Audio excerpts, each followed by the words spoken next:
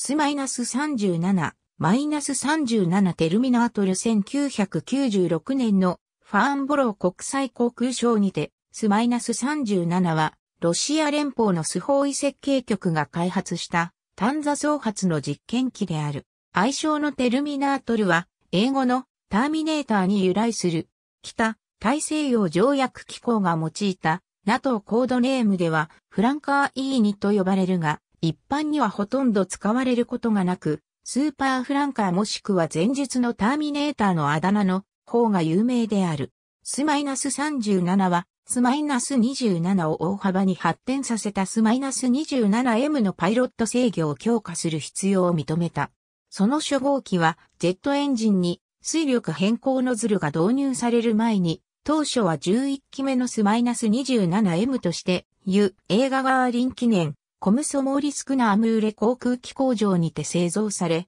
最新の飛行及び並走制御システムも搭載された。スマイナス37は1996年4月2日に初飛行し、その飛行試験プログラムでは、優れた運動性能を実証するとともに、クルビットのような高い機動性を披露した。しかし、その構造の不具合のため2002年12月に墜落事故を起こした。12機目のスマイナス 27M をもとに、第2のスマイナス37が製造されたという1998年の報告にもかかわらず、T10M-11 は唯一のプロトタイプであり続け、スマイナス37が量産されることはなかった。後に、スホーイは他の戦闘機の設計にスマイナス37のシステムを導入した。スマイナス27を改良したスマイナス 27M の別の発展型の開発をソビエト連邦政府が命じた1983年には早くも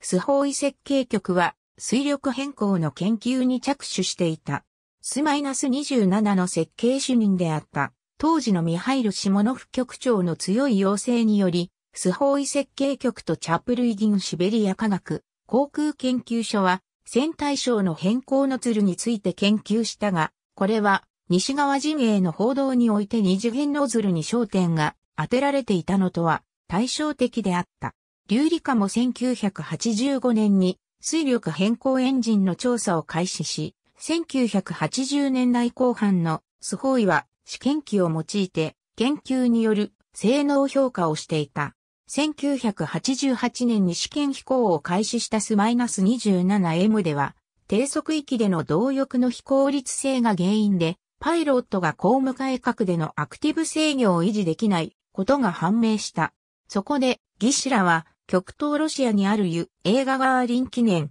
コムソモーリスクナームーレ航空機工場が製造した11機目のスマイナス 27M に水力変更エンジンを搭載し、レーダーのテストベッドとして使用した。1995年の機体完成後、同機はモスクワ近郊にある設計局の実験プラントに引き渡され、そこで技術者らによりノズルが組み込まれた。スホーイはその動力源としてサトゥールン製の AL-37FU を想定していたが、そのエンジンはまだ飛行許可を得ていなかったため、本来 AL-31 回エンジンであったものに AL-37FU の AL-100 変更ノズルを装備した低出力の AL-31FP エンジンが一時的に装備されていた。同機は1995年5月にロールアウトし、その2ヶ月後に仮設エンジンは AL-37FU に換装されたが、そのノズルはピッチ軸において上下15度しか変更できなかった。水力変更ノズルの搭載を除けば、スマイナス37の外見は、カナード翼付きのスマイナス 27M とあまり変わらなかったが、その代わりに、技術者らは、機体のアビオニクスに重点を置いていた。従来のスマイナス 27M とは異なり、スマイナス37はデジタル式、フライバイワイヤによる飛行制御システムを備え、水力変更の制御システムに直結させていた。機体全体の高い水力重量比とエンジンのファデックに加えて、統合された推進及び飛行制御システムは、高向かい角や低速での機動性を高めた。また、パルスドップラー式の N011、M フェーズドアレイレーダーを採用し、空対空と地対空の同時運用が可能になったことから、射撃統制システムも改善された。スマイナス 27M の N011 は15の空中目標を追尾し、そのうち6つを同時攻撃できたのに対し、N011M は20の標的を追尾し、そのうち8つへの同時攻撃を可能にした。また、ス -37 は、ス -27M の後方に突出したテールブームにある N01 自衛レーダーを残していた。コックピットのレイアウトも大幅に改善された。ヘッドアップディスプレイに加え、セックステント AB に育成、液晶マルチファイクションディスプレイ4枚を T 字型に配置し、スマイナス 27M のモノクロブラウン管ディスプレイよりも優れたバックライト保護を実現した。それらは後方やシステムステータス、武器選択に関する情報をパイロットに表示する重力加速度耐久を向上させるため、パイロットは30度までリクライニングさせた射出座席に座っていた。機体は砂色と茶色の配色による迷彩塗装を施され、711ブルーのコードが割り振られた後711ホワイトに変更された。グロモフ飛行研究所での地上試験後、1996年4月2日にモスクワ郊外のジュコーフスキー空港からエフゲニー・フローリフが操縦し初飛行した。ノズルは最初の5回の飛行のうちに調整を受けた。ロシア空軍からの資金が不足していたため、スホーイは自らの資金でプロジェクトに融資せざるを得ず、シモノフによると、同社はスマイナス27の中国とベトナムへの輸出から得た収入をこのプロジェクトに充てたという。機体は同年の後半にジュコーフスキーで公開され、スマイナス37と命名された。その後の飛行試験プログラム中、水力変更制御の結果として、スマイナス37の優れた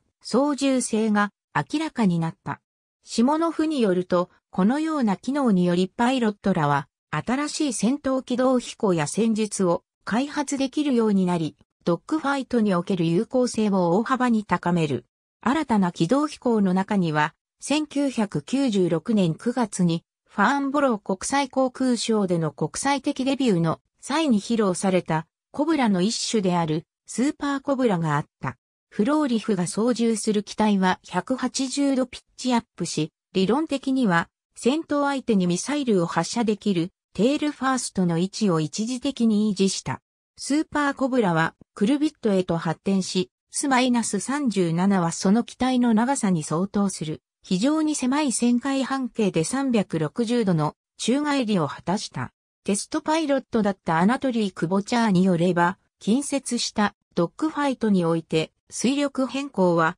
登場機に相当な優位をもたらすという。それにもかかわらず、批評家は、そのような軌道の実益を疑問視し、初期のミサイルのロックオンは可能だが、運動エネルギーが急速に失われるため、パイロットが最初の攻撃を外した際に機体が脆弱になるという。1997年のパリ航空ショーでは最終日にしか出演できなかったが、主催者はスマイナス37をイベントの結出した演者として認めた。その後はモスクワのマックス、アブダビの国際防衛展覧会、サンティアゴのフィデイ航空ショーと次々に出展し、輸出が目指された。エンジンの耐用年数が経過したため、後に AL-37FU は稼働ノズルのない規格生産型の AL-31 回エンジンに交換された。水力変更の喪失はフライバイワイヤシステムの更新によって